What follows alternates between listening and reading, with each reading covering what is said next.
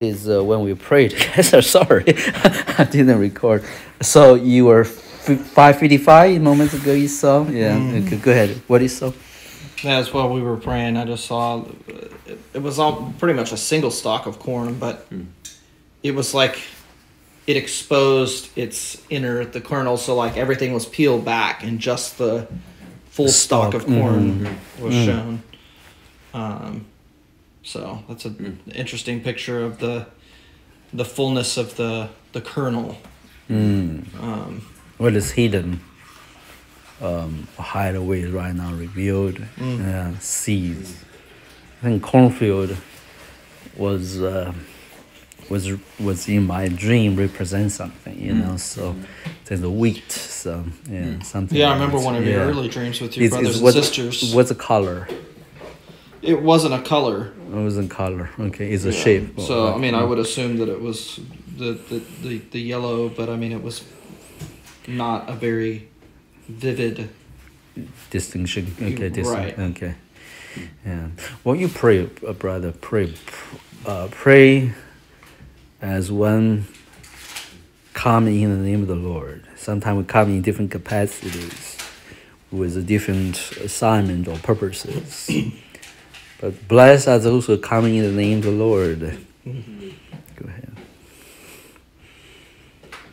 Lord, as your sons and servants, uh, Lord, we stand even uh, in the observation and gaze of the, the angels in the heavenly realms, and not in order to make a decla- declaration per se, but to stand uh, bearing the banner of your fulfilled will and purpose in the midst of man.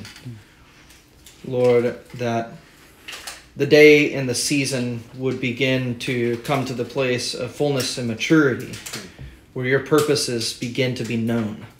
Lord, even among the nations of men.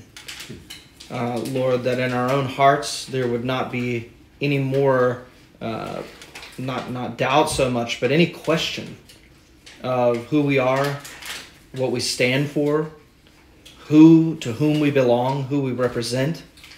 Lord, as those who come forth from your house, Lord, to be the ministering servants of your household, and to be those who stand in the gap, Lord, uh, even in the same way that you ask uh, when Isaiah sought your face, and you and and you yourself from the heavens asked, "Who will go?"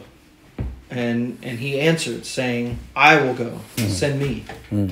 Lord, we are willing to be used in this way for your purposes. Hmm.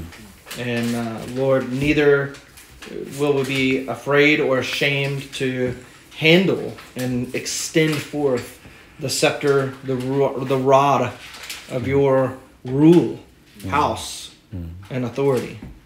Lord, both uh, that which is uh, pertaining to the ministry of your house uh, to bring healing and restoration, but also to to hold fast to the rod of correction and a standard of righteousness, uh, so that that way can be known, Lord. How if it's not represented, and Lord, not uh, as a as a, a piecemeal portion, but as a full representation, which we don't claim for ourselves, but we want to walk fully in it. Uh, and we, we pray and trust you for the grace to do so, and with the authority that comes from your throne and by the word of your own mouth.